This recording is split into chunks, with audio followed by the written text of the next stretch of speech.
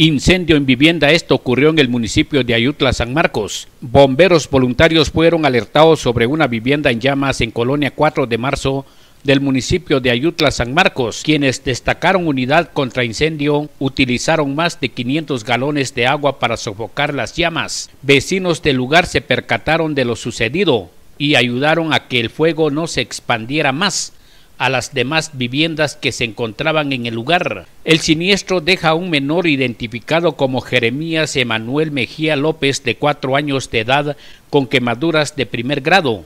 En el brazo y cuello lado derecho, según manifestaron los familiares, el niño intentó apagar las llamas, pero por su corta edad le fue imposible, resultando herido fue trasladado por la unidad de bomberos voluntarios a un centro asistencial local para su atención médica, reportó en San Marcos Joel Navarro.